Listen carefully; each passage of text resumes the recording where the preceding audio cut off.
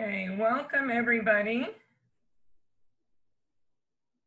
My name is Amy Terlaga. I am from Bibliomation, a Connecticut consortium. Bibliomation is sponsoring the Zoom session. Closed captioning is being sponsored by Equinox Open Library Initiative. We'd like to thank our captioner. Uh, again, this is in meeting mode, not webinar mode. Um, so please leave your video off and your mic off when you aren't asking a question. I'm very happy to introduce Chris Sharp. Chris is the system administrator of the Pines Consortium. For the next two hours, Chris will be presenting Understanding Evergreen Reports. So Chris, uh, the floor is yours. Thank you, Amy. I appreciate it. Um, I guess we'll dive right in. I'm, I'm going to post a link in chat that will be to a Google document uh, that uh, has some information, sort of a, a, an outline of the session. Um, and I'm sharing my screen here with a presentation. Um, we will be, you may see this address on the slide that says uh, c-sharpmaster.gapines.org if you want to follow along and don't have access to your own test server, that is available for you. And there are logins available on the second page of that shared document I just put the link to.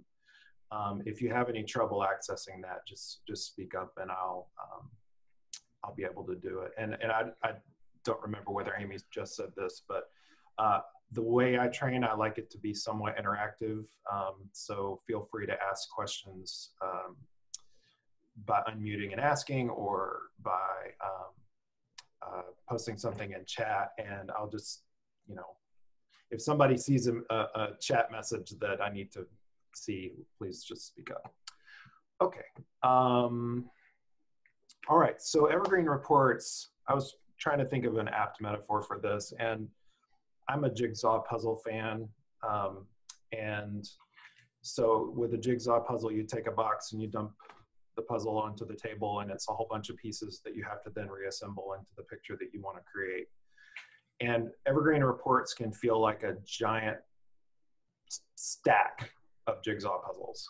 Basically, you are, you know, you're trying to make a bunch of different things happen, um, and then you have all the pieces mixed up. Uh, it, it, it can be very confusing because the way we think of the things we do every day um, is not the same as the way you need to think of things for reporting, which I think is why we have such a large number of people attending this session because, you know, it's complicated. So I'm reusing a little bit of documentation. I'm pretty sure that this handout was used in my uh, presentation last year at, or uh, yeah, at, um, in Pennsylvania. And this, um, I've reused this uh, slideshow before too. So anyway, let's start with what we know. Um, I think I think all of us have worked with spreadsheets, um, and spreadsheets are nice tools to have because everything's organized into columns and rows. And if you have a, a if you know that your data is in column C, uh, row three, that, that locates that column for you, that bit of information, that bit of data that you need um, is, is entered there. And so if we were to just naively start a, I don't know, let's, let's just say a record store, you typically don't store, I mean, there's, I guess there's some record stores that store customer information, but usually that's not what's going on. But let's pretend that, that we do want to store our customers' information at the record store. Um, and their favorite albums and things like that. So you might be tempted to start using a spreadsheet for that. So uh, I'm going to change what I'm sharing here to illustrate. Okay, sorry, I have too many dang windows open. Let's see, where is this? Okay, all right. So this is LibreOffice, which is an open source equivalent to Microsoft Excel. Um, so let's say that we wanted to have a um, customer database, you know, a, a record of our customers. So you might have the kinds of fields that you'd associate with a customer. You might say, you know, first name, and then last name, and then uh, address, and then, you know, phone. Obviously, get more detailed than that. But you're already seeing that to record this data in a computer means you're going to have to enter this customer information, you know, for every customer that comes in. So let's say that you, have got a customer and I'm at my address and my phone number. And then, well, my wife comes in and decides to buy a, record as well. And she lives at the same address and has the same phone number. And then my son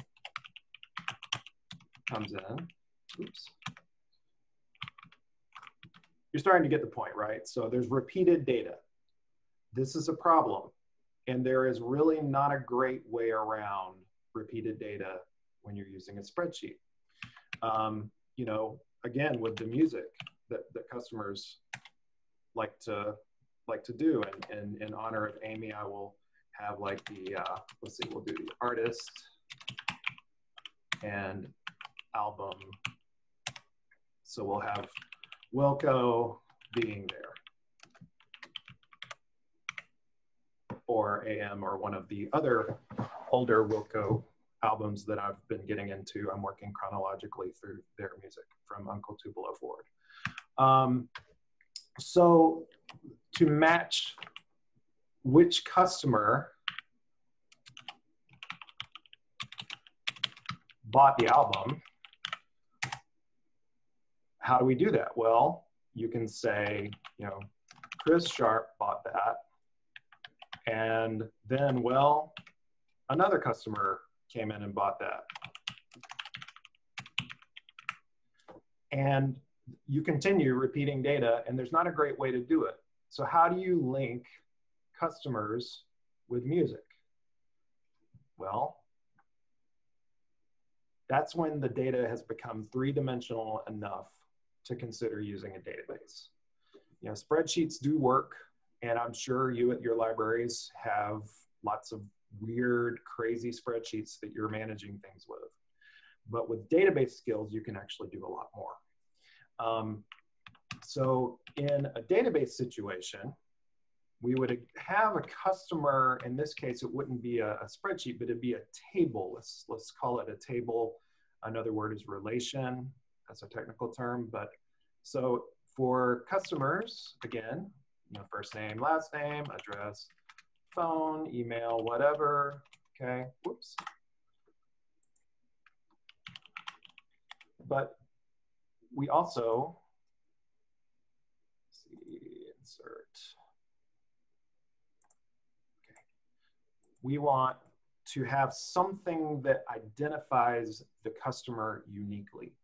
So what a database does is it assigns an ID number and it's just sequential. And the first row gets one and the second row gets two and the third one gets three. And eventually you have, you know, if our store is successful, we have thousands of customers. Um, so what this does is rather than, I'm not gonna retype it all out for you. So rather than having to put each customer's name in the music table, we can do this. We can say customer one bought this. And customer three bought that. And what that's doing is it's taking the ID from the customer table and you're referring to it from the music table. And this is what music would probably be its own table, and then there'd be a purchases table. But you're getting the idea. This constitutes a link between the customer and the music. But we don't have to write the customer every time. So if I buy another album,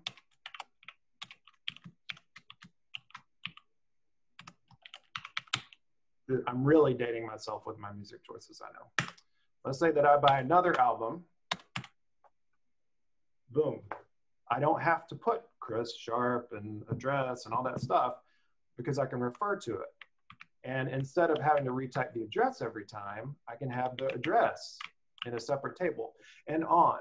And basically that creates a situation where you decide where can repeating data happen. This is called normalizing a database. Where can repeating data happen? And if it can happen, it probably needs to be in its own table somewhere. Um, so that's basically how you come up with the problem that a database solves. Now, let's move to things that we work with day to day in libraries. And let me reshare.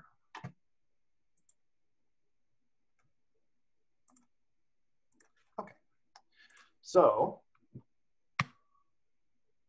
we work with books, right? And we all know what a book is. Like nobody needs to explain what a book is. We also don't have to really think hard about what attributes a book has, like, I don't know, title, right? Or author.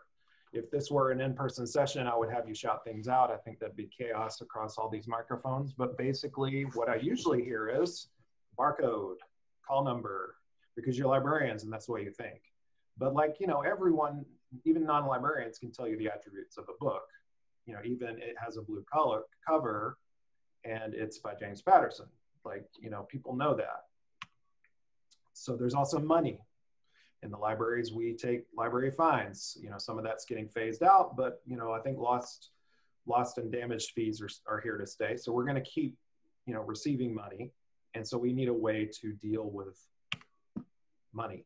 And then, of course, the people who come into the library, the users, the patrons. You know, we call them patrons, but there's also staff users. And so there are different attributes of those users. So the users are, you know, they have a first, middle, last name. They live at a location. They have a phone number or email address. They, um, and then, you know, um, you have the circulations themselves. So let's let's take a look at the book. As I said, you've got the different attributes, and really this is where I call on the catalogers in my normal trainings and they usually say things like pagination, they say publication year, and they say, so th those are the bibliographic elements of the book. But there's also the physical elements of the book and the actual instance of the book that exists on your shelf. You're already working in an abstract world where you're having to remember this uh, metadata that describes these books. And uh, with a patron, same thing. You've got their date of birth, you've got their driver's license number if possible, you've got their parent guardian, you've got their uh, physical location. And then finally, you have a situation where you have to track what your patrons are doing. So circulations, so or hold requests or things like that. So a circulation, which we don't typically think, think of as a thing, like it is not a real, you can look at a book, you can look at money, you can look at a person, you can look at a building.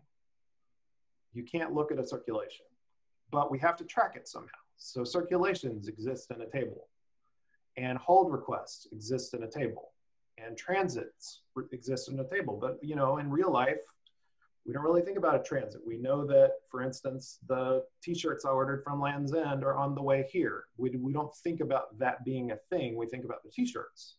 So, but to be able to track it in software, you have to be able to quantify it in a certain way. So the reason that I'm going through all this is that it takes a lot of uh, different data sources to store and then to store this information for retrieval. So for instance, for a book, these are table names. These, these are not actually the table names, but let's just say there's the copy of the book, the actual instance of the book that's sitting on your shelf or is in your hand at the desk. The call number volume, we're already getting a little more abstract here. The volume, as catalogers know in Evergreen, is sort of an intermediate holding object that the copy belongs to and that it itself belongs to the bibliographic record. The bib record is where all of your title information is, pagination description, all of the, the descriptive things that let you find the book are in the bibliographic record. And then of course, metadata for searching is not just in the bib record, which is usually in Evergreen is stored in MARC XML, but you know often it's in MARC 21, which is like not even a format you can read. Um, so you you know you have to pull that data out of the, the format it's in and make it available. So that it sort of explodes all of the um, attributes of the book that you're looking for, or whatever it is you're looking for, into a form that allows search. And then, of course, we talked about circulation. So we have to track about what the book does. Who, who's got it right now? What is the status of the book? Uh, have, are there any holds hold requests for this title? Have, has this particular copy that's in my hand been targeted for a hold? Um, so as I say, not actual table names. Again, we talked about transits. Shelving locations, that's another part of the book that you have to consider is where in the library physically does it live? Um, circulation modifiers, that's something we use in Pines a lot, but really, you know, that, that lets you set your circulation and hold rules around a particular item type. The owning library and or the circulation library, and we'll see that when we get a little deeper that those aren't always the same things. And then users. So these are all the different tables that go into describing the physical object of the book. And the thing that, the reason it's important to understand this is that reports has to pull all of those data pieces back into something that you recognize. So again, this is the big pile of, of uh, I, I always slip and say crossword puzzles jigsaw puzzle pieces just laying all over the table. And you have to decide like which box to pull from and which pieces do I need to complete the picture I'm trying to create. And the way we do that is by joining database tables together. Now I'm gonna switch back to my spreadsheet for a second.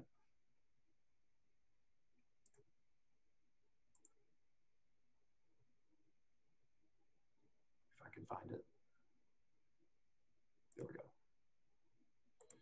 Okay, so back here, the way we join these tables together is by a linkage between an ID that is then referred to in another table. And then, you know, these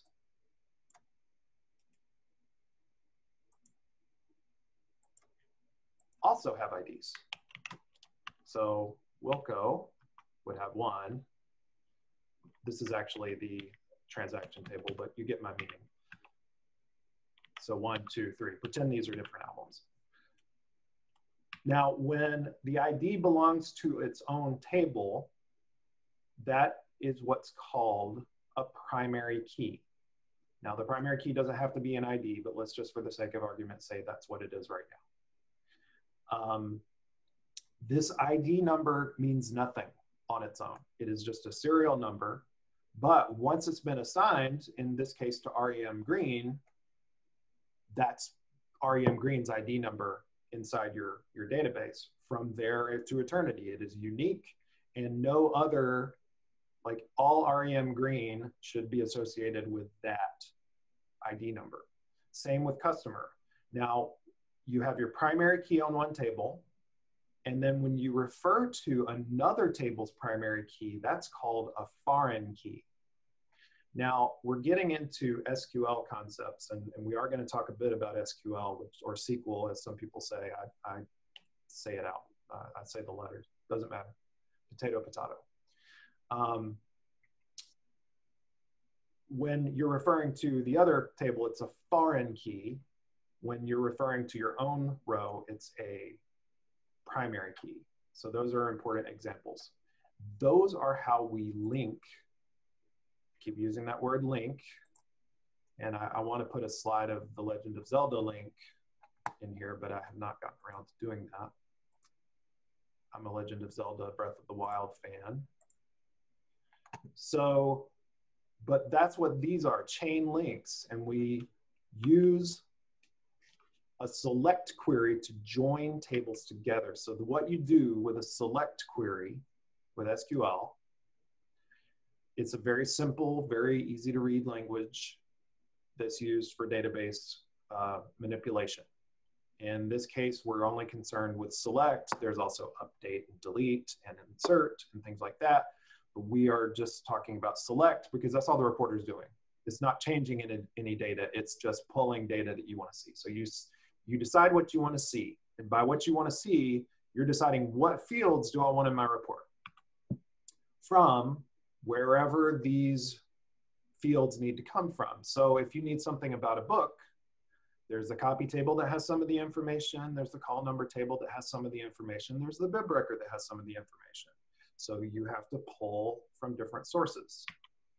Join one or more sources on foreign key relationships. So what I mean by that is what I just illustrated. The foreign key is another table's primary key that's referred to in your uh, join. So, and then where. So if you do select what you want to see from this table and not put anywhere, any sort of filter on there, you're going to get everything. you need limits. And if you're like, I work in Pines where we've been running this for, you know, gosh, uh, almost 14 years. So, you know, there's lots and lots and lots of data. You definitely don't want it all. And then there's another type of filtering called having, uh, which is called an aggregate filter. And that, that gets a little more advanced. We may get to it today, but we'll see. Okay, so this is, um, it's now called display fields, not displayed fields. This is a correspondence between the SQL select query and what you actually see in the reporter interface, which we're going to get to in a minute. Okay, so these are display fields is the select. From wherever you're getting the stuff is, is your data source. Where is the filters and having is another type of filters. That used to mean more in the old interface. Okay, I think that's the end of my slideshow, so I'm gonna stop that. We're going to look at the client. If I can find that window. I can.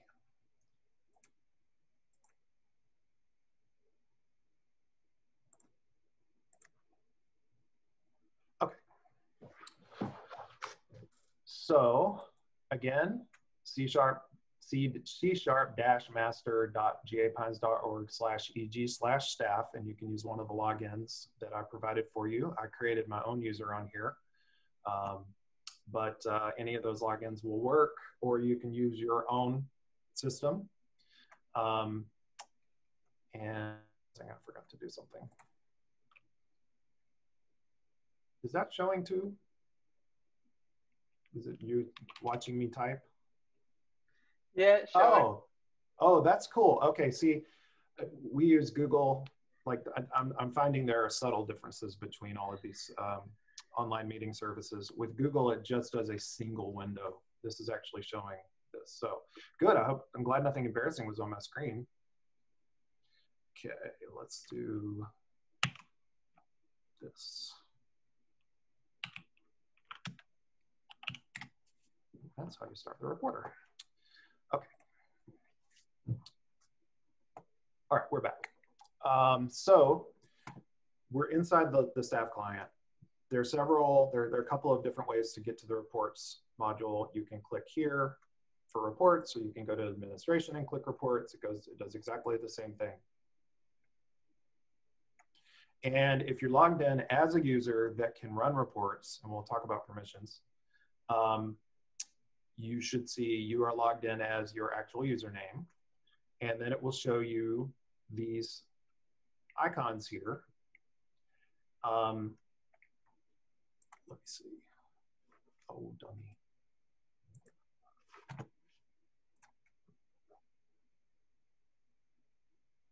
Okay, let, let me just, let me sidetrack into permissions for a second.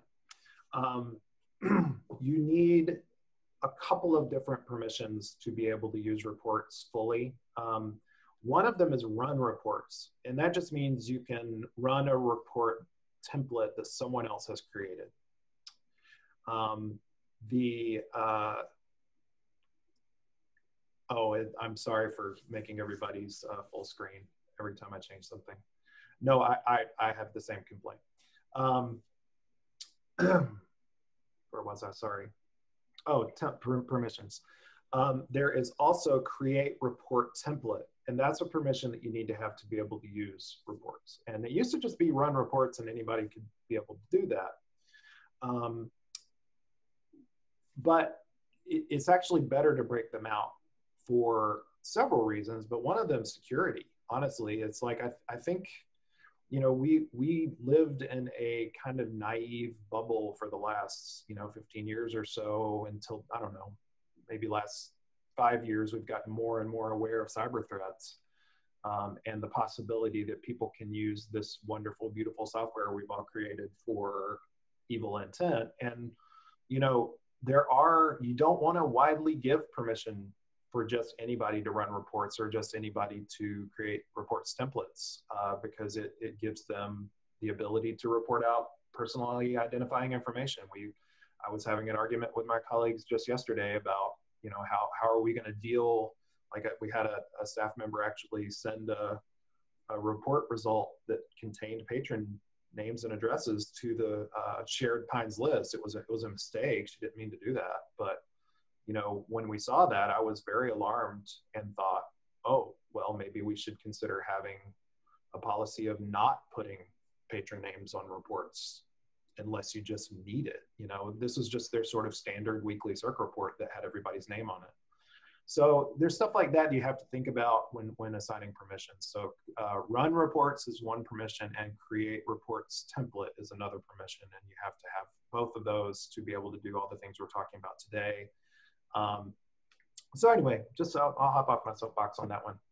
Um, so if you're visiting this for the first time, your my folders are going to look like my shared folders here, which I know is confusing. Um, so really, this is a sheet of paper icon, but it actually designates a folder. And I know that there's a usability issue there. Um, so the um, way you create a folder is you can click on the name templates and you have to have subfolders. Like you can't just start creating stuff um, without, without an actual folder that belongs to templates, that belongs to reports and belongs to outputs. So I already have one in here, but I'm, I'm gonna do another, I'm just gonna call it training, whatever. Um, you have an option to share or not share. Uh, by default, it does not share. Uh, share reports uh, folder is actually another permission too, and that's something where you can set the depth. Um, we in Pines only allow sharing within a library system. We don't allow sharing across library systems through the whole consortium because reports for us is already a gigantic mess and we don't want to make it worse. Um, but you can share with the people that you can share with. Um, and then once you've said you do want to share, you can designate you know, consortium, consortium system branch or, or other. Uh, and then you just create subfolder and it should pop up with this action succeeded. Okay. Uh, and now when I look under here, I have the original one that I did share, and that's why it says cons there, that's consortium. Um, there's also a training subfolder that I just created. And you need somewhere to store your report. So let me back up a second. You're already a little bit confused when you open this because it says my folders and shared folders. And the use of my and your and our or whatever in software can always be confusing. But my folders means your own folders, like the folders that I have control over that I can make sense of. Um, shared folders will be where other people's reports folders that they have shared pop up they'll pop up in this list. So you may already see shared folder. If you're on my server, you'll see my C sharp folder sitting there. They don't have anything in them yet.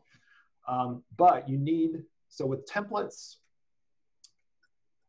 a reports template, well, I usually ask, what is a template? And I don't know, somebody answer, what's a template? Like in general, not, not reports necessarily.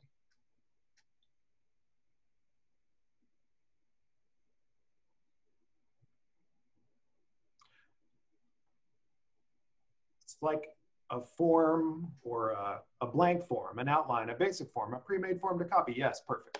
Yeah, prototype, those are great. great uh, ways to think of this. So when you create a reports template, you are pre-configuring everything you can so that all you do when you actually run the report is to put the data in, okay? So that's what templates are. And really that's where we're gonna spend a lot of our time today uh, is talking about templates. Um, but you have to, just in the way we have to store circulations that happen, we have to, we have to store reports um, where you take the template and you stick the data in, that object needs to be saved somewhere. And that's what reports is. So that's a little confusing to have a folder called reports after you've entered what you're calling reports. It's just something, it's a confusing thing right off the bat. In any case, um, I already have my C sharp folder, but I can click on the name reports and then it will pre-populate with what I just used. I can set my sharing things again and, and click create subfolder there. And again, so when you run your report, you end up with reports output. And that's what this third folder is. And I'm going to create a folder like that. Now this, this sort of three tiered, making the same folder for each one, that can be very clarifying. Um, I am a person who thinks pretty linearly when it comes to this sort of thing. Um, if you're sort of a pack rat and you have, fortunately, there's now this search option at the top that lets you find templates that other people have created. But um, if you're more of a pack rat type, you might just have randomly named template folders without consistently named reports folders and consistently named output folders. I would recommend while you're beginning to prevent unnecessary confusion to just create this sort of three-tiered structure that I've done here. Um, so what do we do now that we've created our template folder? Uh, we will click on cons. You know what? I'm going to do something else. Let's see.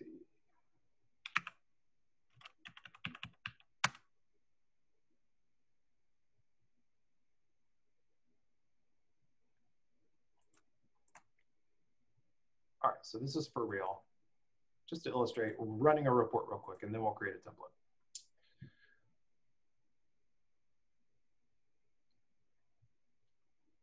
All right, let's see.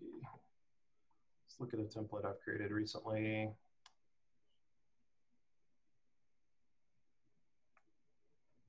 I don't like those. I'm gonna pick a different one. Let's just do a quick, uh, look in MISC. Sorry, I actually did have something prepared for this, but I changed my mind midstream. Sorry.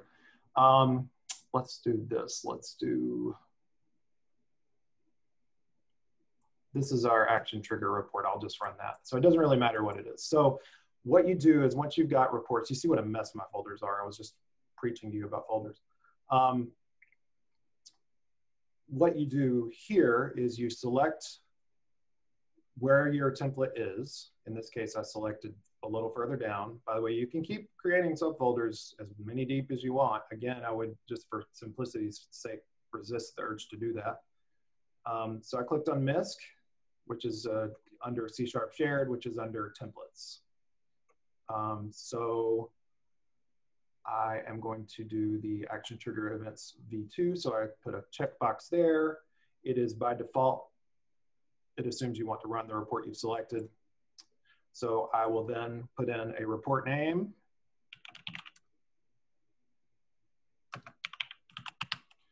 Okay, and I can put in a report description. And then you can get into pivot data. We're not gonna worry about that right now. Um, we can talk about it if you want to later, but it's not a priority. So I've got my report folder that I'm gonna store this in, and I selected Chris and I've got my selected output folder here at the bottom, which I selected Chris as well, again for consistency. And then here I have a couple of just forms that I'm filled out so that, you know, like I said, it's a template. We're just sticking our data in. So let's see, this is our action trigger report. So we'll look at the ones that ran yesterday. So between yesterday and yesterday, you can make it further, but basically, um, you can also with this, that's a real date, you can also select relative date, which lets you run it X days ago in this case. The re there is a way you can change this from days to uh, months or whatever as well, and we can talk about that if you want to. Um, at this point, there's not a way to change it, but you can create your template in such a way that it, that's allowed. Um, it gives you output options by default. Excel, HTML, and bar charts are selected. Uh, if this is going to go to like you know your web person to put on a web page, they may want it in CSV rather than these other outputs. Um, there's also recurring reports. So if I click this and I keep it at one day, this report's going to run every day.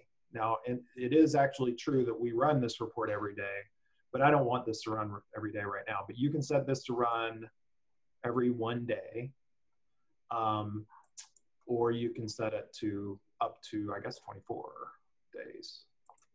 Um, I'm not sure why they only have it 24 days, but anyway, um, you can do every week, every two weeks, every month, every 12 months. You know, if, if, if you're forecasting out that far that, you know, okay, our annual reports run and you're not having to think about it, they'll just automatically come into your inbox. Um, so if your recur if your report is recurring, it's important that you do select relative date here because if you do a real date, what's going to happen is it just reports June 9th every single time you run the report, and that's not what you want. Um, run as soon as possible. That's usually what you want when you're just running a report. But if and what that'll do is like it's now 12:37 p.m. Eastern, and if I just say run report as soon as possible, it will run today at 12:37 and the next day at 12:37 and the next day at 12:37, and that may not be the most convenient time for me to receive that report. So I can actually set a time for it to come to me um, including times in the past. So like if this were a monthly report, I can set this to the first of the month and I want it to run at noon or midnight. Uh, a lot of your system administrators will appreciate it if you run your reports overnight that are not urgent. Um, so, you know, you can pick 2 a.m. It'll just come in 2 a.m. on the 1st of June. I walk in the door on the 1st into my office when COVID 19 is over and sit down, and there's my report. Okay. Um, and like I said, putting it in the past, that might seem a little weird, but the way the report scheduler works is it finds the oldest report in the list and puts it first. Um, so that's that's that's what makes this possible. So that way you don't have to have like, okay, I forgot to start my report on the first and now it's the 10th. So if I run this monthly, it's going to run June 10th at 12:37 p.m. and I don't want that to happen. So this is the way you solve that problem.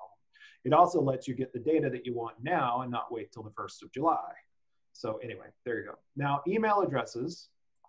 This email is uh, pulled from the Evergreen account from the person who is running the report.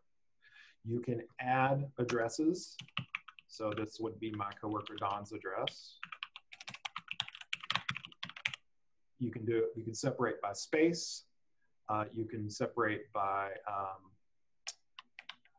uh, comma or semicolon, the, the system will do it correctly. Okay, we got a quick question. If you start your run on the first, will it run 10 reports?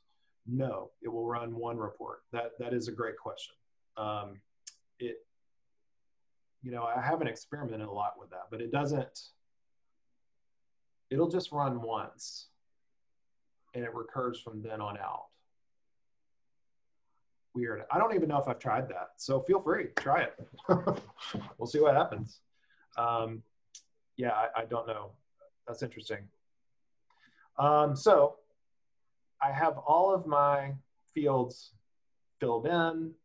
Um, I actually don't want this to recur. This is just a test report. So the way, and I've got my report name, my useful description. Um, and another thing to know about these, and I'll, I'll show you in a second um, I'll just hit save, save report. It says action succeeded. Now, what now? How do I know whether it's running or not? Unfortunately, you don't. There's not really a way to know. You can click on output and click your output folder, and it looks like mine is sitting here in a pending state. Um, so you don't really know. You can keep clicking this to see if it's going to move. I wonder why it's taking so long.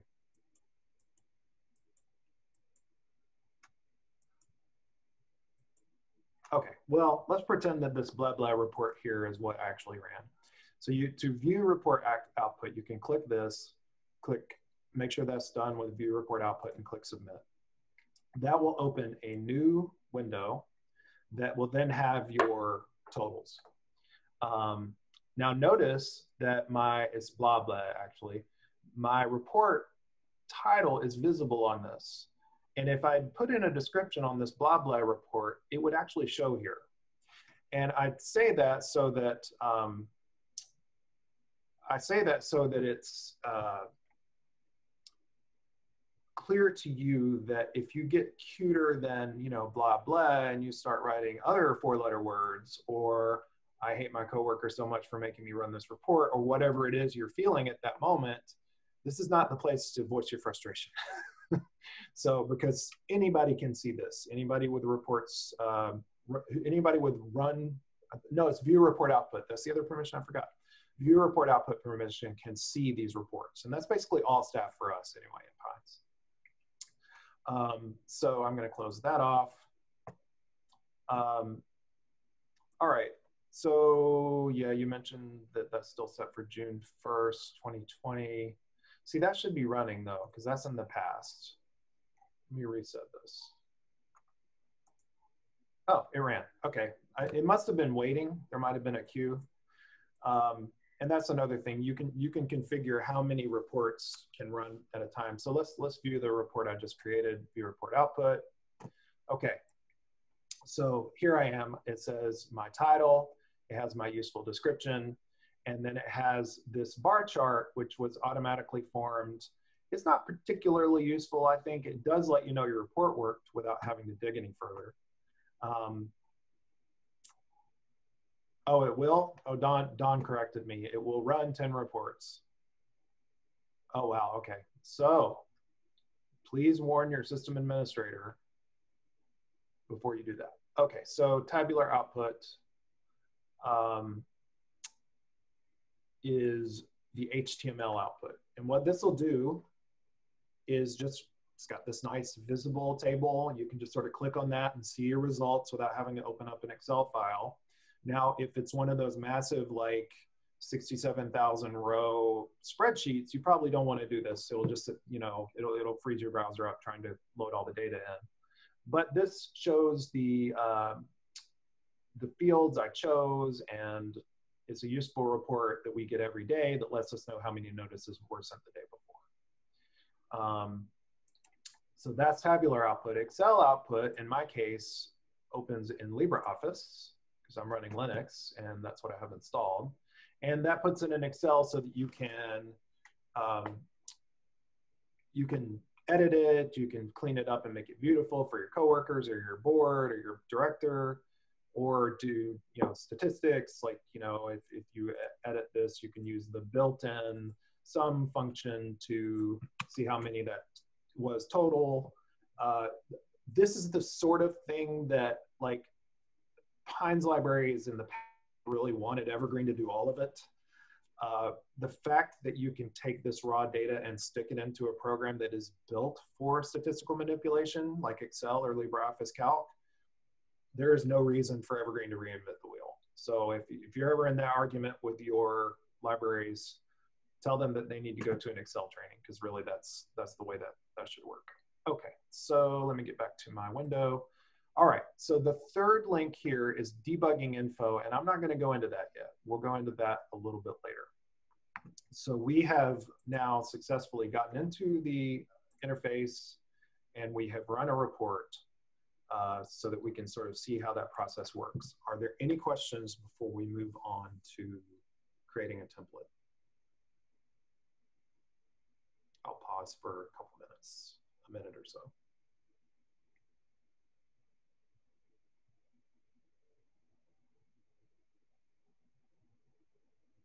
Okie doke. All right. Your template folders aren't that. Oh well, yeah. I, I it's all it's all a, a matter of um, relativity when it comes to messiness. Uh, my wife is a professional organizer, and every every house she's gone in, the person is like, "Oh my God, I'm so messy," but she's seen like real squalor before, and it's just you know. Anyway, yeah, we all we all think our closets are messy until uh, somebody else sees our, our closet. It's like, wow, you're really neat. Okay.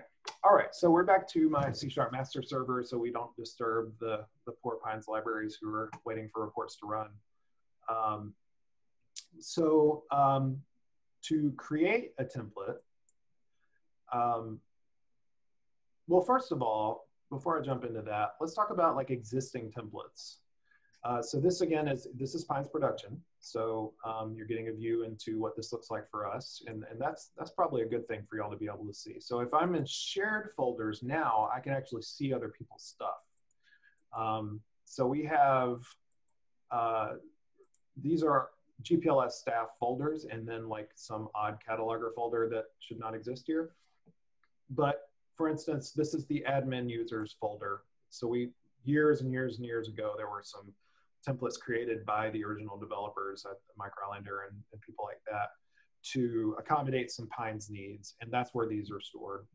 Um, and then there were some that Equinox delivered us, I don't know, about a decade ago. So, I, you know, that's another thing is reports, depending on what upgrades do to your database, reports can sometimes break. Uh, like existing reports can change because the schema underneath it changes. And that's not a bad thing per se, but report, you know, creating reports templates is such a bear that people get really panicked about that if it does happen. Um, so anyway, so we've got our folders here and, you know, there's one on bibliographic records. And so that's, I can now look at this report and run it. Or I can take this report, I'm not gonna try to clone it. Um, well, actually that should be simple enough. I'm gonna click clone selected template. Now, clone in this case means just copy, um, you know, make an exact copy of the template, and then you're able to manipulate it if you want to, or just sort of store it in your own folder. So I'm, it, it prompts me to choose the folder where I want to store this template. Again, these are template folders out of this, this area here. So I'm going to click Chris, and I'm going to say select folder. And then it automatically opens our interface here oh, that's interesting. It didn't work. There are no uh, fields or filters here. So this is probably an old enough template that the template upgrader piece just didn't know how to handle it. And that's okay. We, this, is, this is probably 2007 era. We won't worry too much about that. But that's cloning. So cloning, the, the use cases for cloning are, um, I've created a report myself and oops, I forgot to add a field or I made a certain thing wrong, I can clone it, work on the clone. There's no way to go back and like edit the original template. Um, yes, this is a common issue. Some of the older reports just won't make it in. Um, there are some there. The, I've actually seen the the XUL upgrader piece do a pretty good job with our stuff, but I, I think it's just a, your mileage will vary with this. Um, and often, I don't know, I tend to just create new templates, but I, am comfortable with this uh, interface in ways that my colleagues aren't necessarily. So, um, so you know, a, a, template breaking is not a big problem for me. Okay. Um, again, use, use cases for cloning. I've created a report. I made a mistake. I can clone the report. That's use case number one. Use case number two is what I just demonstrated. You know that there's a report out there that somebody else has created, and you can then clone that, put it in your own folder. So you, for one thing, it doesn't make you have to go dig for it again. For another thing, you might be like, oh, I'd like to add a field or something like that. Again, in that situation, your mileage may vary, but you know that's a, that, that's a that's a use case for cloning. Uh, you know, take somebody else's report, tweak it a little bit, make it your own. Um, and then really just just making a copy of a report to go somewhere else. Um, when you clone a report, it will add, it'll, it'll populate this template name with the title and the description that was put there, and it will add clone in parentheses to the title. So if we save this and clone this, it'll say clone clone, and then do that again, it'll say clone clone clone, and so on. So, you know, I typically don't let it just say clone, clone, clone, especially for something that I'm going to show other people. So I might say version two or something like that. Um, so that's that's cloning. Um, let's see. Any questions on cloning?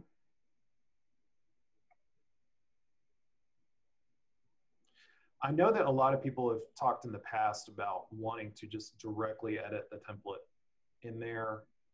I understand that desire, but it's not that big a deal to, to work on the copy and then go delete the old one. It's actually a little safer as far as um, like if you're a system administrator and you work on configuration files, you always want to keep a copy of the original. So that way you, you know it's around. So that's one way to look at it. Okay, let's see. Webby will clone, but depending on the filters and fields, they may not display the clone interface correctly. Yeah, that's right. Uh, it, you know, it's it's not perfect because the cloning, um, the XUL cloning mechanism didn't accommodate every single uh, part. So, all right. Um, so let's let's look at the interface now. I, we got a peek of it when I ran that uh, clone when I did the cloning of the report. But let's let's do a, a full overview of over it. Um, we're coming up on an hour. I, I do want to work in maybe a five, 10 minute break. Um, let's let's do that now, um, so we can we can ride it on home once we get back in. So let's just say at one o'clock we'll reconvene, and I will um, I will myself take a, a biological break and you know get your caffeinated beverage because we're gonna um, dive right into template creation right when we get back. So see you in a minute.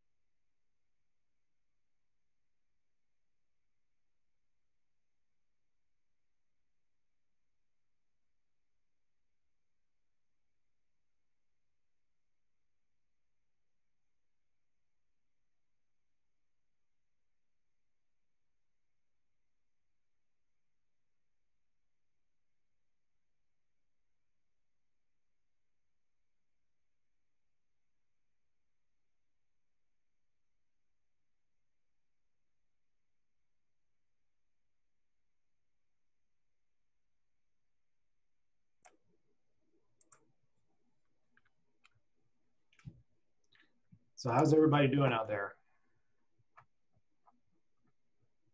I mean, you know, in general.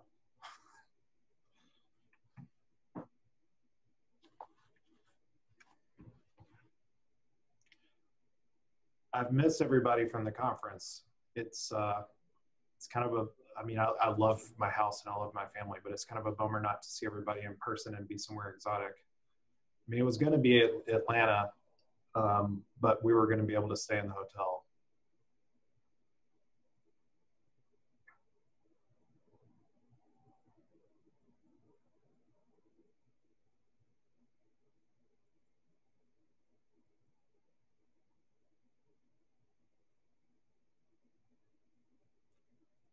Sorry, Jessica. yeah. This is a wild year for everyone. I, I hope I hope this is all under control next year so we can we can be in um, Kansas City.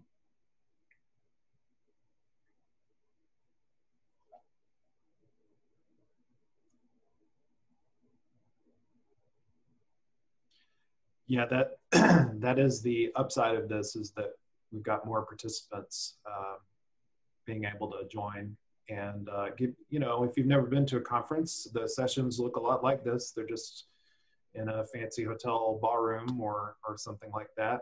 And, um, you know, uh, we all, you know, go to lunch afterwards or something, but uh, we'll, we'll get to do that again, I'm sure.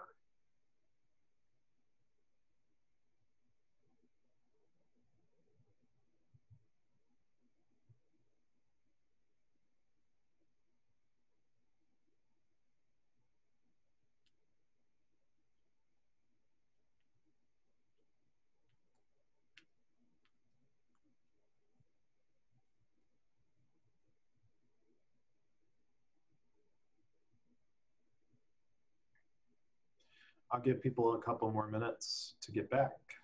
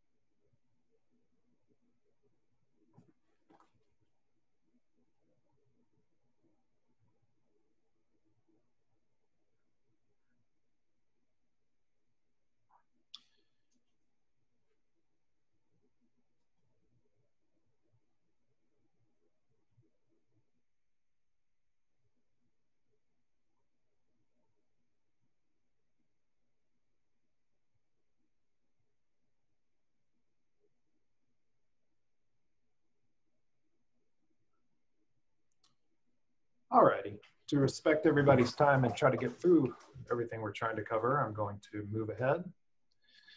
All right, um, so again, I got here by going to the folder I'm going to save my stuff in. We'll just use this training folder, whatever. And there's this link off to the side that says create a new template for this folder. So when I do that, it pulls me into this interface. Um, the it, this this gets a little hairy, so I, I am I'm gonna go bit by bit uh, and and introduce a piecemeal because it can get pretty overwhelming if you just dive right in. So you've got your template name, which you know we're gonna say weeding, you know, basic weeding list. You are required to have a name uh, for this. You were required to have a template description in previous versions. If you're running an older version um, of Evergreen, you may still be required to do that. In more recent versions, you don't have to. Um, I will mention that I um,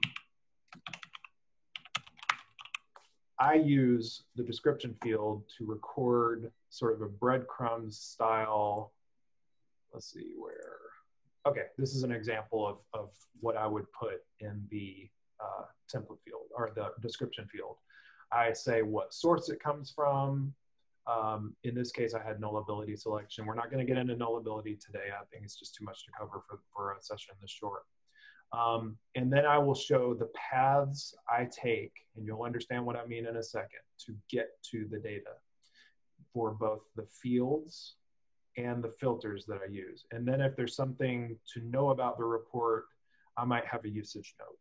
So that's the way I use description typically.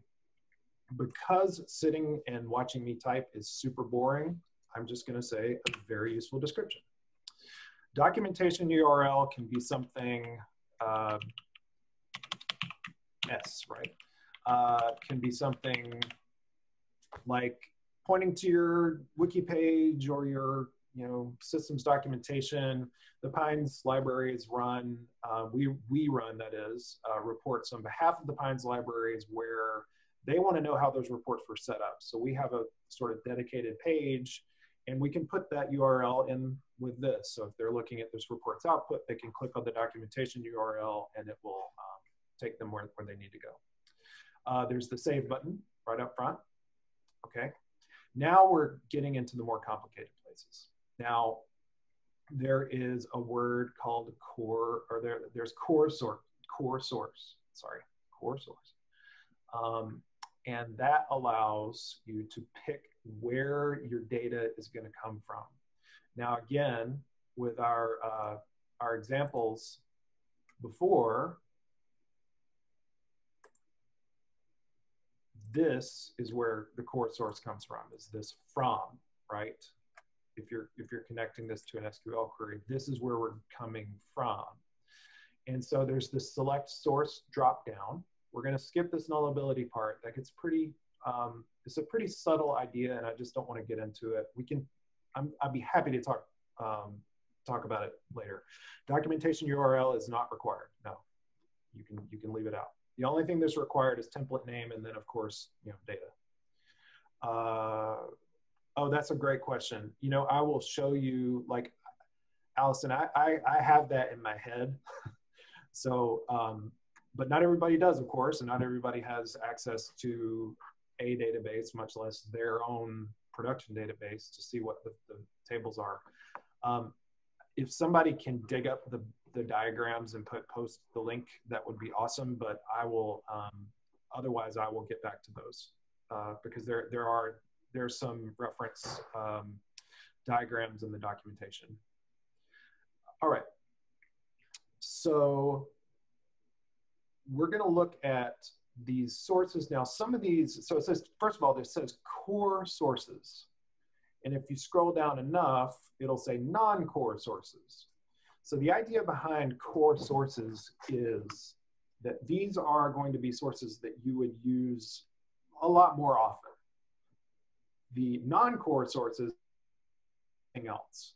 So as I mentioned in my example about record stores, there's probably going to be a table that records the transactions between a, a user and the music that they buy, right? A, a, customer and the music they buy. And if you just view that table without the context of having the customer information at hand and the music information at hand, all you're going to get is a big list of numbers, like IDs. And that's really not useful for you to pull reports from. But there are some cases where you want that kind of data. So Evergreen does give you access to basically every table. It's not literally every table in the database, but it's, it's probably most of them. In this case, I'm going to use the item source, and that's one of these. Now, another warning, I don't know what things are like at your system, but we have these classic things. These are these were convenience views that were enabled for us. These exist on the list but may not actually exist in um, may not actually exist in the database for you. So talk to your system administrator about that if you have questions. Um, so I'm going to go to item. And so I clicked item here, and then all of a sudden this is populated. Yes, that is an important thing to know, Beth, that um, source, source names are not necessarily the same as the table names. For instance, item, the actual table that item is mostly referring to is a table called asset.copy. So underneath everything, everything is called a copy, and out in the interface, everything is called an item. Um, just as in the interface, things are called volumes, when in the background, things are usually called call numbers. So th there's a lot of confusion around the terminology, and it's it's sort of this is not unique to Evergreen, and it's not unique to library software. This is just you know how to name things is always uh, a problem in programming. So let's see, item, and it has this little triangle pointing at item. So if I click, if I avoid clicking this triangle, and if I click on item itself, this middle pane is populated with some stuff. What do we think this stuff is? If I were to guess, I would guess that that is fields that are available to item. Now, this is this this will illustrate my points that I made in my presentation because if you look down this list of fields that are available on item and you try to find title or author, you're not going to find those. They're not there. So we have to go get that information from somewhere else, um, which we will do in a second. But for now, we can see that they, these are things you know, you know about these things. Uh, catalogers do anyway. The active date time is when the copy actually became active as a real copy in Evergreen. Um, hold protection is like, you know, is, is it three months old and we can't put a hold on it outside of a branch or outside of a system, that kind of thing, alert message barcode. I'm not going to read the whole things to you, but basically, there are all these names of things that you should basically recognize what those are. Some of them may, may be a little confusing, but they're mostly done. And then beside those, you're going to see these little icons. Um, something I didn't cover, um, this happened the last time I trained reports too, in the original um, setup of this is data types. Um, who can tell me, so okay, first of all, there, a database, this is kind of obvious, a database stores data, right? So you have different things that you're storing. For instance, in our spreadsheet, we've got our ID and we've got our artist and album and, you know, things like that. And you might have, you know, purchase date, something like that. So, and then we put, you know, whatever. Okay, so let's let's pretend that there's that's there and then purchase price. Okay, so $15. Oops. So I know that that's money, so I will go up here and make it money. Okay, so the, uh, sorry, I thought somebody chatted a question. Um, this data is different types of data. So Wilco and being there, those are just text, right? That's just like letters. It can be numbers, but it's not supposed to mean a number, right? Uh, you know, Van Halen had an album in the 80s called 5150. Is that a is that a, like supposed to be a number that we use in math? No, it's the name of an album. So it's it's text, right? Plain old text. And the database needs to know what kinds of items are stored in what kinds of fields because that's how it needs to work. It needs to know how to retrieve data. Can you search for strings? Can you search for numbers? Can you do math on things? Can you do date math or money math? Things like that. So for instance, the ID is an integer, right? That's a, an integer you may remember from your early math days is a whole number. That's no, no decimal or no fraction, okay? Um, this is, again, these are texts. Customer, also an integer, uh, you know, whole number. This is a date, which in the database is stored as something called a timestamp. The timestamp gets down to the millisecond as about what sorts of things happen. And we don't think in milliseconds, and most of the time don't need to see milliseconds. So we, you know, everything in the client you're going to see is basically cleaned up so it looks like a real date. It might have the time, um, but probably not all of the, you know, GMT minus four or whatever the, the actual time zone is. And then purchase price. So that's money, and that's not an integer because it has a decimal. Um, so, and money is a type that Evergreen treats its own way. It doesn't really treat it, I mean, it, it internally to the database, it's just a decimal, but uh, which is in programming language called a, a floating point number. Um, but in this, we just, we're just gonna call it money. Okay, so that's different types of data. Um, another type that we're gonna see is Boolean uh, you know, Boolean would be, and you know, it gets more complicated than, than, this. If you've ever taken a logic course, you know how, how complicated it can get. But Boolean and Evergreen is really just yes or no, true or false, uh, zero or one. It just, that's, that's how it's stored. Um, there is, so money is another type. Um, uh, text is another type.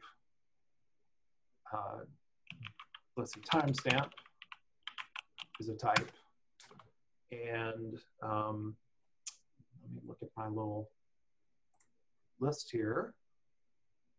So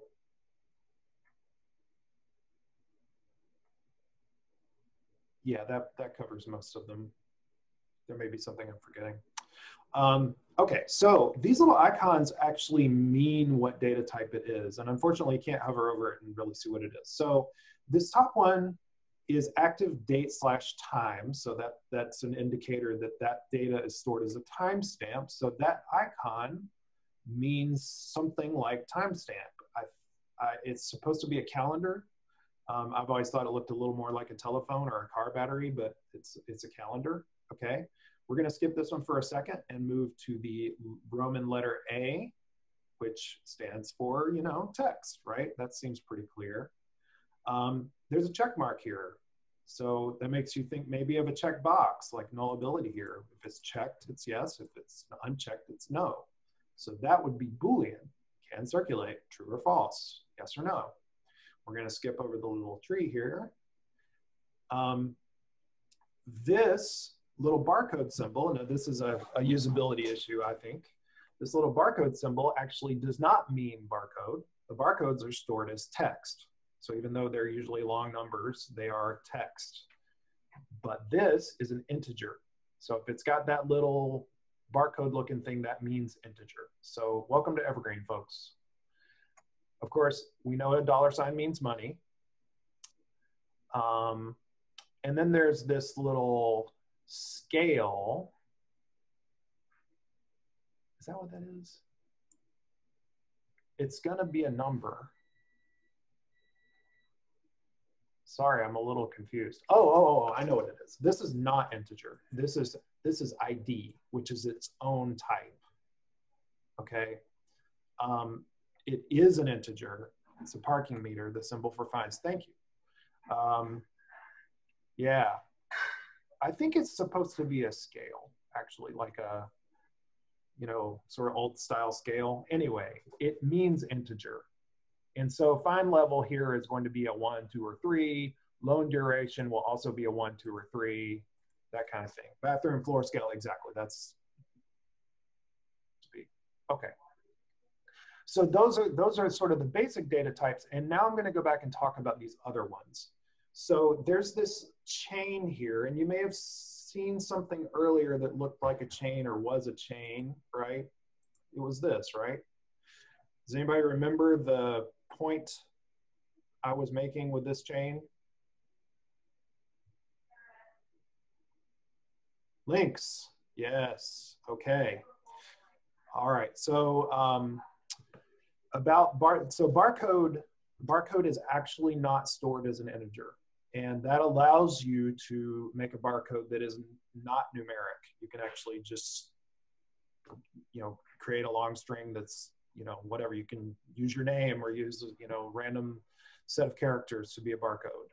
Um, the database knows its text, so it allows for barcodes to have different types of um, different types of data in there.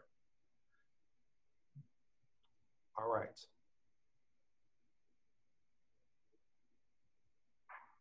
So barcode is a different type of data than barcode that has an A beside it. Let's see, hold on. I'm losing my windows. Okay, so A is beside barcode because barcode is stored as text. So even though it's numbers, it's text, right? All right. If you keep having questions, just feel free to ask them. That's fine. All right, so as we mentioned, links, right? So link, Legend of Zelda again.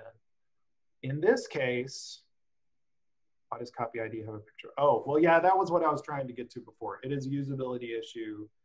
Um, barcode, this, it was a bad choice. They should have chosen a different icon. I'm not even sure what to su suggest. Uh, but yeah, that, that that means ID. And we will talk about what ID means in a minute. it, it is actually a data type, this, this specific, it's not just an integer. Okay, so link, uh, back to our spreadsheet for a second. This points to this, right? So we, we showed that customer ID here inside this music table points to customer ID over here. And we said that that is a foreign key. And it's a foreign key because it's this table's primary key and it's using that to get that data. So this is a link between this and this. So since a link is a number, what do we think age hold protection is?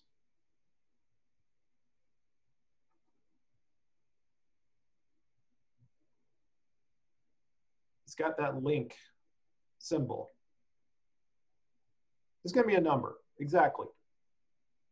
Yep, it's a number.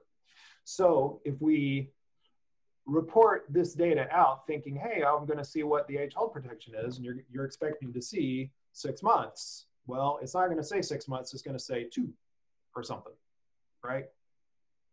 So, all right, same with call number volume. There's a link beside that, right? So that again is going to be an ID number for another table. Same with circulation modifier, same with circulation type, same with creating user, floating group. These are all telling you that the data you're after is not here, it is somewhere else, okay? So um, let me talk about IDs. So the ID, as I mentioned, is the primary key for the table. And IDs have what I call magical properties when dealing with um, evergreen reports. And the magic that is brought by ID is that when you use the ID as a filter, and I'll show you this in a second, it will create a nice selectable, human readable list of things that you can actually identify when you're running the report. So we'll, we'll get back to that when we actually get to that point. Okay, circulating library has this little pine tree here. And what that means is that is an organizational unit. Org unit is that type. And what that means is that is a another, it's got magical properties as well. If you use this as a filter, it should populate your filters when you're running the report with a nice selectable list of the organizational units you can choose from. Okay, so that looks like it. Okay, and I, just a warning, the rain just got really heavy here. It, it doesn't look like it from my video, but it's very, very dark in this room. So hopefully my power and internet stay up. I'll say a, a quick prayer to the internet gods. Okay. Um, all right. So with linkages, now I'm going back over to this little triangle and then I expand that and it's like, oh, what is that? What just happened? And you're like, I quit. And you just say, okay, Chris, I've seen enough. I know now that I never want to work with reports. But before you lose all hope, there is a relationship between this link symbol and the presence of something on this list. And there are some linkages over here that aren't in this list, but if there's something here, it's probably gonna be available on this list here. So what do we think is going on here? So I, I mentioned the age hold protection. If we reported that field out just as is, that would be just a number. If we click, if we see that it's a link, we can go over here and click age hold protection and then boom, the middle pane just changed. That's interesting. So you can see that it's bolded here. So we know that this, these are the fields that are available here. If I click on aged patron list circulations, same thing. A new set of fields appears, a new set of fields appears. Now what's going on here? What's going on is that item has these links and this is where you can actually go get the data that's linked to the table.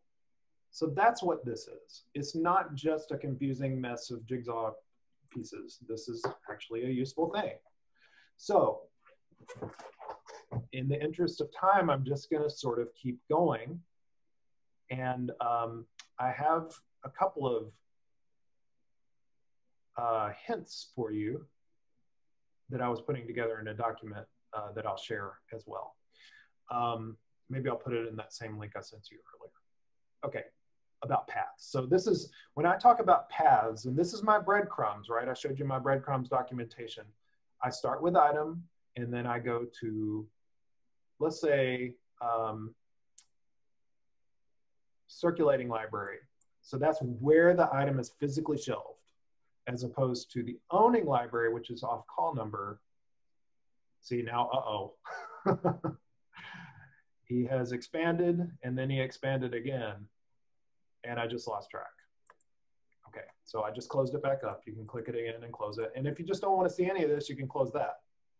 But we will open it back up because we do want to see it. Circulating library is where the item is shelved. Call number is the volume. Talk to your cataloger about volumes if this is confusing. The volume has an owner, and that is actually the owning library of the copy is at the call at the call number volume level. But it's usually going to be the same thing in Evergreen. They divided this out when they were designing the software so that you could have a collection that's owned by headquarters and maybe gets shelved at Bookmobile or gets shelved at temporary collection over here, still owned by the main library, but has a, uh, a different actual physical place. So that's what that is. But we'll, we'll just say circulating library. So we're going to create a report now. What we want to see is the library name, and in this case, I'm going to choose the short name. This is like the policy code. In PINES, we use these like it'll be, you know, ARL-ATH for the Athens Regional Library Athens branch. Um, so I'm going to say, gosh, the rain is getting really heavy. Um, so what I did here is I clicked on short policy name and that lit up bold and I clicked add fields and then that's here. And by the way, these are tabs. So I'm on the display field tab. So this is gonna show us what we want to see. Okay, so we want to see the library name in our report.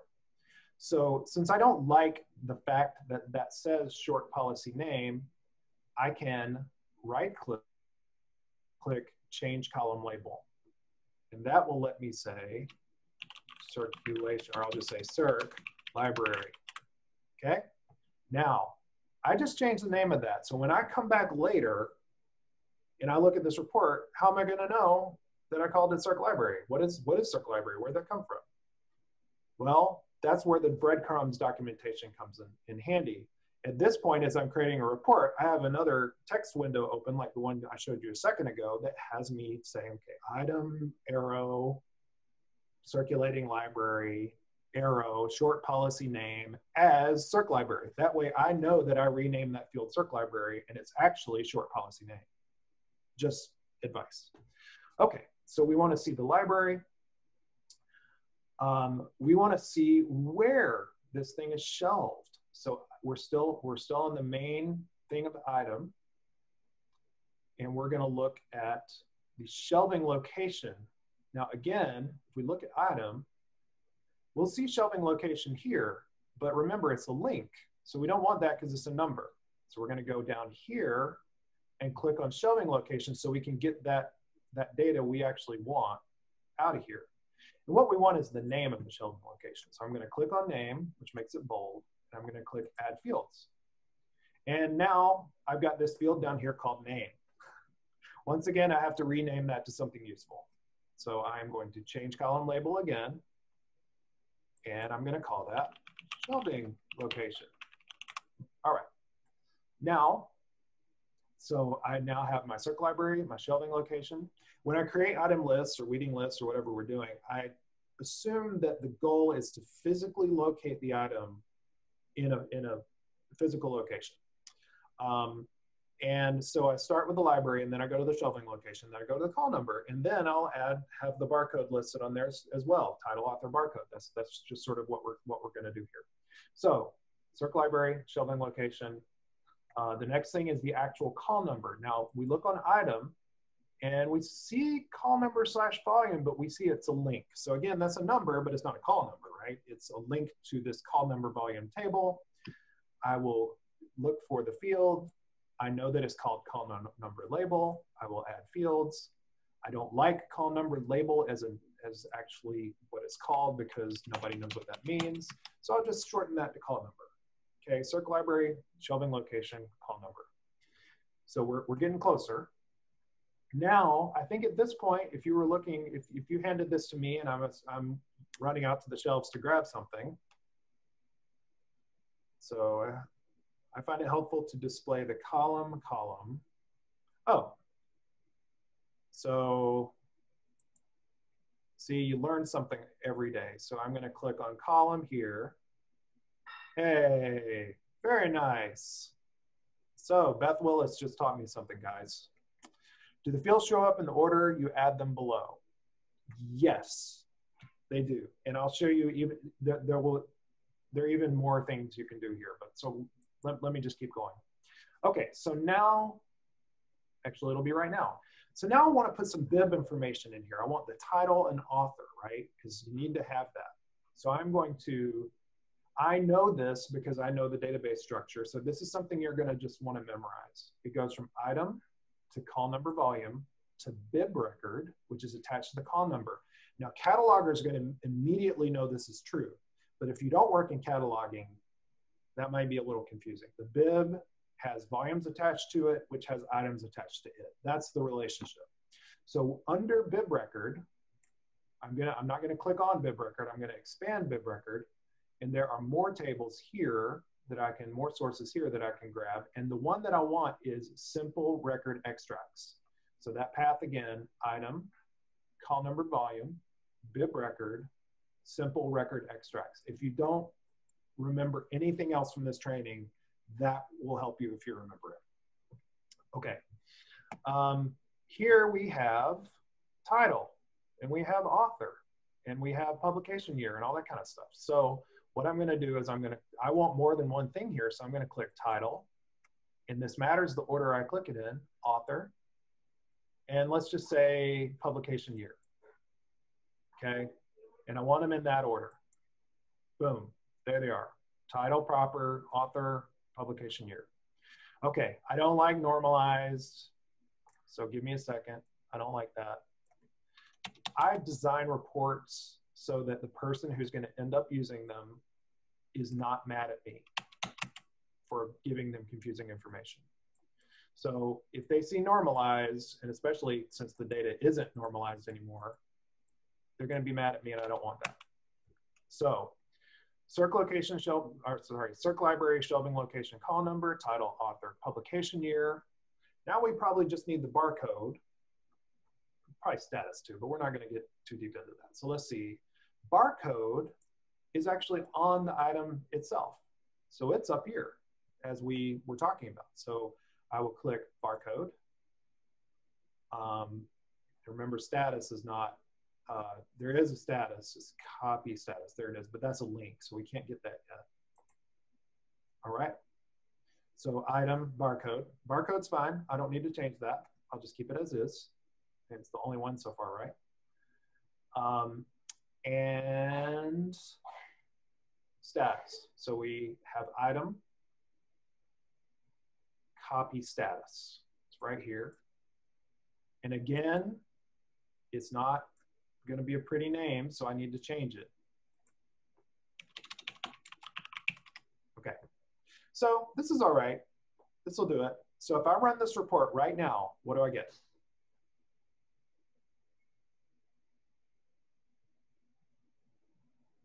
Everything. I get all the items. I don't think you want all the items. You want your items. So we need to do some filters. So again, these are tabs. Filters work the same way as, as display fields. You, you select them the same way, but they are tabs. So you click filters, and they have slightly different columns, and they have slightly different uh, things you can do with them. So this is still lit. And by the way, uh, we haven't talked about transforms yet, but, but we will in a second. Um, any questions so far? I'm always concerned I'm going too fast. I'm also a little worried about the time. I, I, want us to actually run a report before this is all said and done. Just keep your questions coming if you've got them. I'm going to keep rolling. Okay, so we're going to want to filter by circulating library. And by the way, if you know you're going to be filtering by something you're also displaying, you know, from the same table, you, you can just go ahead and do this. Now, I talked about the magical properties of organizational unit ID. So I'm going to add that uh, as, and that gets added here. Now, there are a couple of things you have to do to filters because by default, it expects raw data, and raw data is whatever's in the database. Like it's just unadulterated data, like whatever's there. You know, I talked about timestamps and stuff like that. That's what it's going to look like in the database we can do things that clean it up. And that's what's called a transform. That's what's meant by that. Um, it also allows you to do things like counting and things like that, but we don't want to do that. And we don't need to change it for this. Operator is like operators in math. It's like equals, or there are others. We will look at the list of what's available to us. We have equals and contains matching string and substring and greater than and greater than and equal to, et cetera, et cetera, et cetera. And in this case, we only care about in lists. So what this is going to do is create a nice selectable list of all of our org units that we can choose from. Okay. All right. So that's one. So if I run this report right now, what do I get? Everything inside that whatever org units I select. That's probably not what we want because for one thing, this is not filtering out whether or not the item is deleted, okay? So fortunately, item has this is deleted field. It's a Boolean. Remember that Boolean is true, false. So that little check mark. So I'm gonna add is deleted and I want it to change I can change this value, and this is called hard coding this. I can change it here. I'm going ahead and it's setting it in the template so I don't have to set it later. So when I click that, and it depends there on older versions of Evergreen, it actually has you type true or type false, which is same thing. In this newer version, it has, this is master, it has this. So deleted equals false. Now this is one of those things where you want to do this right now and not have your people running the reports going, why is all this deleted stuff on my report? You also don't want them to have to pick deleted true or false. Again, your goal is to give them data and make it easy, not have them. Okay, so right now, if we run this report, it gives us all items at the libraries we selected that are not deleted. Again, that's probably not narrow enough for a real library situation. So it's probably a good idea to use our shelving location. let's just do this. This is a, a weeding list, right? This is what you hand to your staff member who's on Facebook too much or whatever, and you just want them to go do something. You're like, here, okay, you run this report and you hand it to them. So we want by shelving location. So I, I clicked on shelving location, which is off item, right? Item, shelving location. And then I will put the shelving location. I'm tempted to put name because then you can type in the name, but you don't want to do that. You're going to click ID. Okay, and that seems weird, but remember it has a magical property. That magical property is that you can create a selectable list. Um, in this case, I will also choose the in list operator. Okay. All right. So it's going to display Circ library, shelving location, call number, title, author, publication year, barcode, and status. It's going to be filtered by circulating library, um, whether it's deleted or not, and it's, it is not. We've gone ahead and said it's not deleted.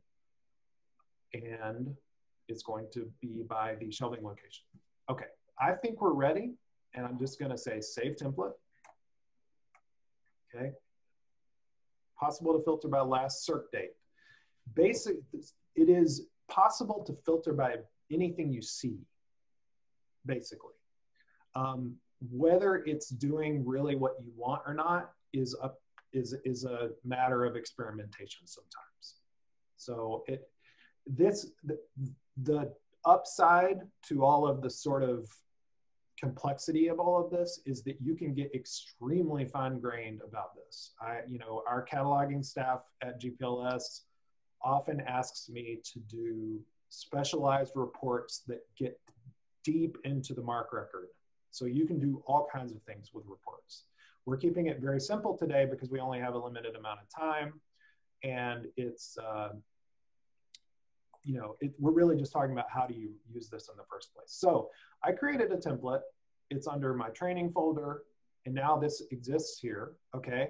It's got my documentation link. If I click that, it's gonna open in a new window, whatever URL I put in there. Now I put the PINES thing and I'm logged in, so it's got this weird catalog view. Okay, so to, again, like we did at the beginning, we will select the report on the list. Uh, by the way, you can also delete or move reports to other folders. Um, in this case, we want the default from the report. Click submit. Uh, I am going to create this report. It's called Weeding Lists. I want it stored in the training folder.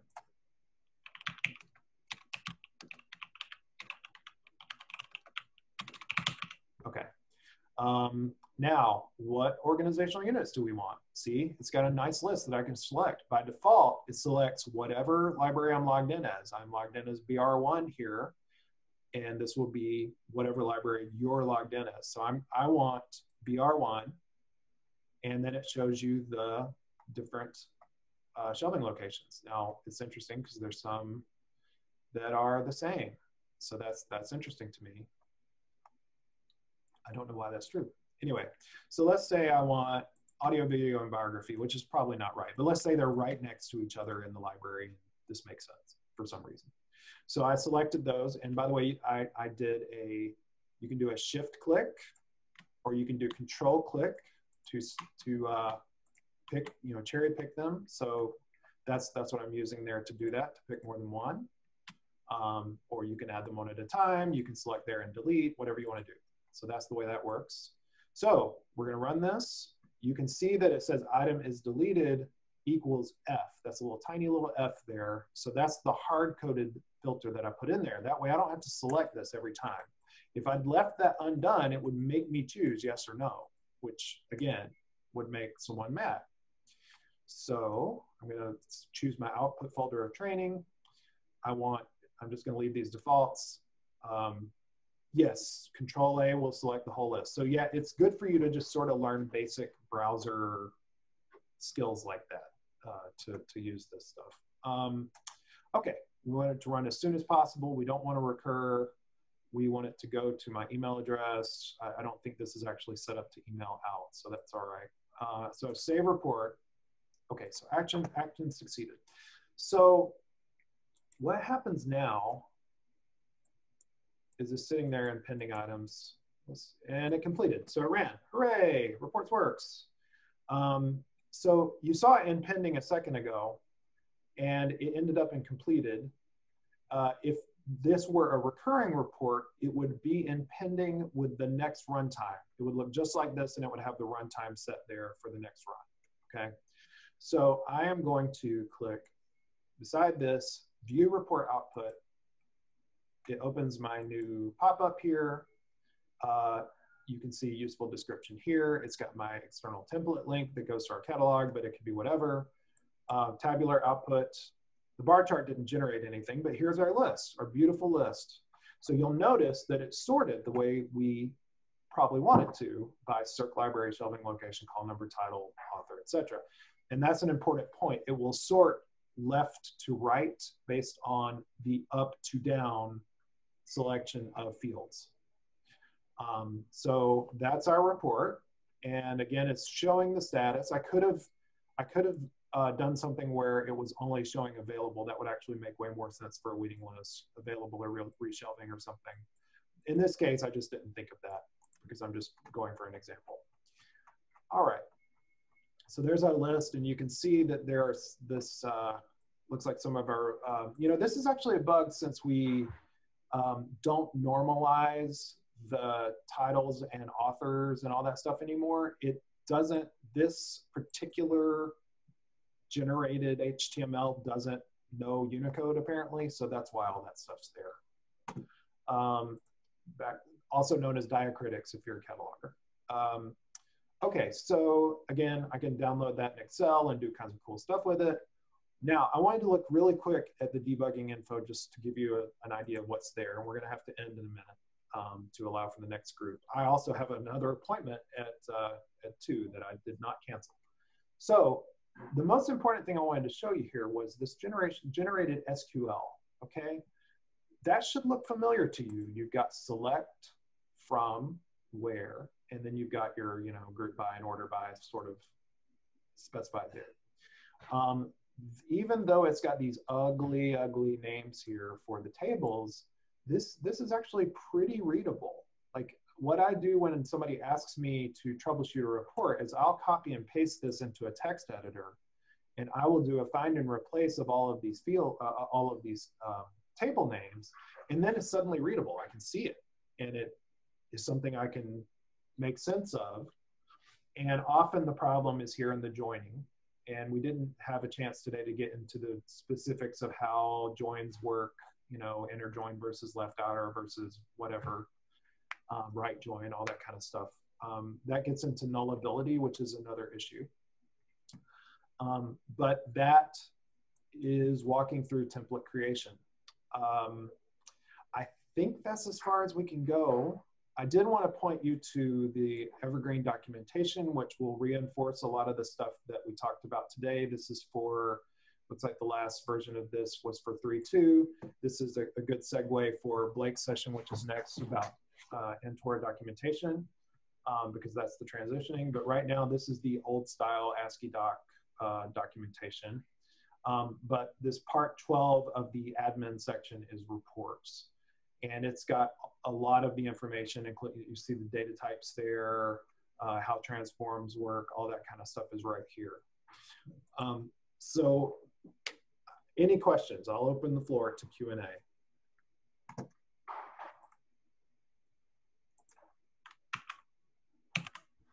You can put it in chat or you can unmute, either way. Oops.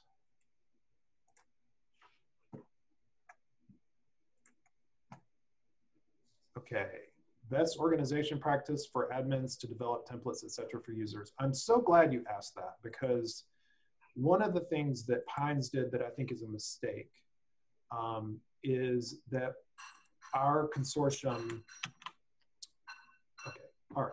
By the way, I just added some documentation to the end of that um, document I shared with you at the beginning that shows you the common sort of paths and some of which we went through today.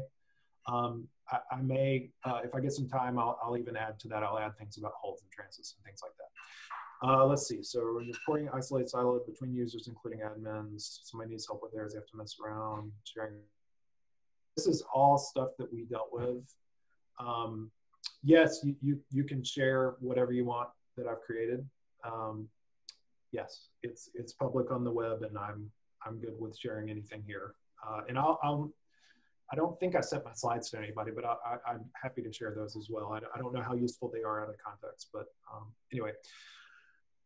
Um, anyway, one of the, one of the things PINES did, I think, wrong was they just sort of said, "Okay, go at it," and had a big free for all, and it created a giant administrative mess that we're still cleaning up a long time later. And you know, there's reports running out there that God knows if they're right or not, but they're getting reported, and they're getting reported to boards and things like that. So I, I would. Um, personally, we we've taken a tighter control over reports. Um, we also implemented a feature called Quick Reports that you may have heard of. Um, that worked really well for us. It was developed by Emerald Data Networks, and it's got a um, it's basically a PHP interface that lets you um, just run a bunch of canned reports and not worry about all the stuff we just talked about.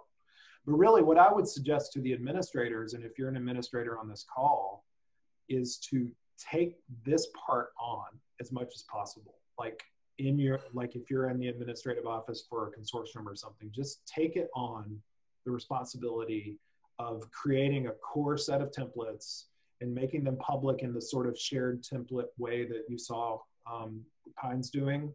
When we started doing that, we we we were able to reduce the number of specific reports requests a lot um, because you know every library thinks they're a snowflake and that we're you know very different and whatever. But we found with quick reports being sort of the canned reports model, almost all of them just need the same stuff. Um, you know, we we do get a number of reports requests throughout the week, but it's not it's not too bad. Um, okay, yeah, Jeremiah, that that is definitely an approach you can take to um, like write your own in the background. Uh, you know, there's there's another library. I don't know if Jeff Godin's in the audience or not, but he he's a Traverse Area District Library, and he uses Jasper Reports, which is sort of an open source alternative to Crystal Reports, which is uh, you know sort of generate a PDF from a database or something like that. So you know there, there are lots of ways people do, deal with it. I guess remembering that it's just a Postgres database and whatever helps you get the data you need is is what you need. But you know this is a built-in tool. It is very powerful. It is designed to do what you know librarians wanted, even though it's you know too complex in a lot of ways. Um, yeah, so I, I, would advise against a lot of sort of free for all sharing of templates across uh, libraries because uh, I'm not saying this in response to Benjamin. I'm just saying in PINES that didn't work well for us um, because what we did it it lets an incompetent person share a not very well constructed report and result in bad data. And given the number of budget cuts we're all looking at right now from you know lost revenue and everything you want those numbers to be as right as possible. You don't want to have to issue corrections or have them be too low or crazy inflated or something like that. So accuracy is really important right now yes yes the ones you create share away and that's what i say to our libraries the ones that i put in my shared account and i you know we sort of have them personalized like I have a shared account, a shared folder. Taryn has a shared folder. Don has a shared folder. It probably would make more sense to have a single shared folder, but we um, we will. Um, sorry, I lost my train of thought. The um, oh, I always say the ones in mine I can vouch for as far as they did work when I created them and that that's all I can say. Like I said, reports change. You know, the ones from 2007, I probably wouldn't put a lot of stock in. The ones from 2013, I probably wouldn't put a lot of stock in, even if I created them. Um, you know, I, I, would probably try to recreate them in the web client. You saw that the XUL converter doesn't always do its job. So, okay. All right, I think we should clear the room for the next folks, right, Amy? Yes, uh, yes. Chris, excellent as always. Thank you.